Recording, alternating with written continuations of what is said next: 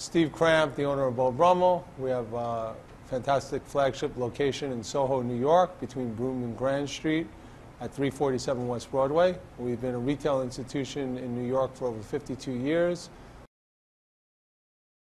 Um, we definitely uh, had a lot of success with PostcardMania. We've um, hit our clientele base uh, many times over the years and had uh, uh, nice results with the um, sales.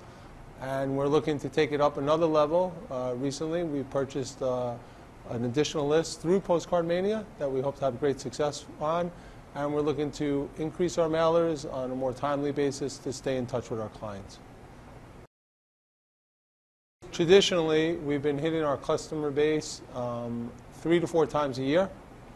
Um, from my education with Joy, we're going to start hitting them six to eight times a year, if not more, so we can have the results that we're seeking in sales and increased sales.